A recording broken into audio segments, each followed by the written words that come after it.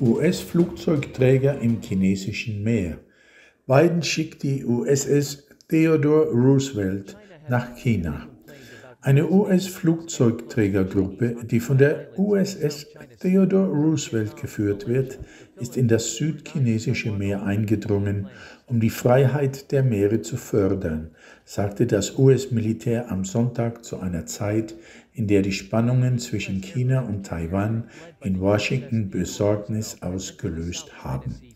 US Indo-Pacific Command sagte in einer Erklärung, dass die Kriegsschiffsflotte am Samstag in das südchinesische Meer eingedrungen ist, am selben Tag, an dem Taiwan eine große militärische Übung von chinesischen Bombern und Kampfjets in seine LuftverteidigungsidentifikationsZone in der Nähe der Pratas-Inseln gemeldet hat.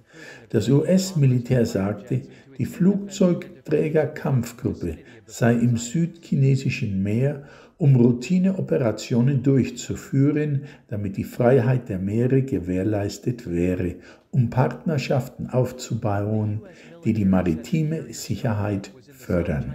Der Kommandant des Angriffsgeschwaders, Vizeadmiral Doc Varys, wurde zitiert, als er sagte, Nachdem ich in meiner 30-jährigen Karriere durch diese Gewässer gesegelt bin, ist es großartig, wieder im südchinesischen Meer zu sein, Routineoperationen durchzuführen, die Freiheit der Meere zu fördern und Verbündete und Partner zu beruhigen.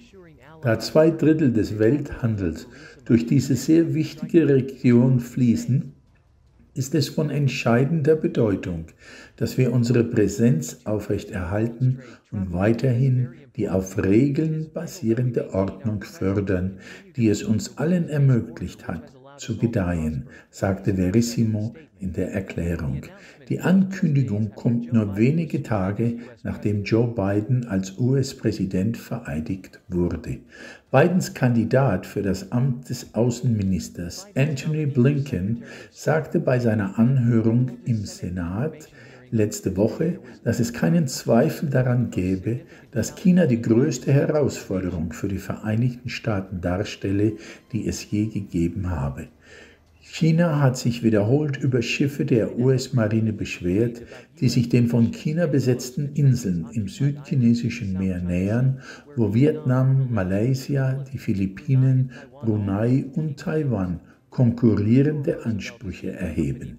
Die Theodore Roosevelt wird von der Ticonderoga-Klasse Lenkwaffenkreuzer USS Bunker Hill begleitet und die Arleigh Burke-Klasse Lenkwaffenzerstörer USS Russell und USS John Finn.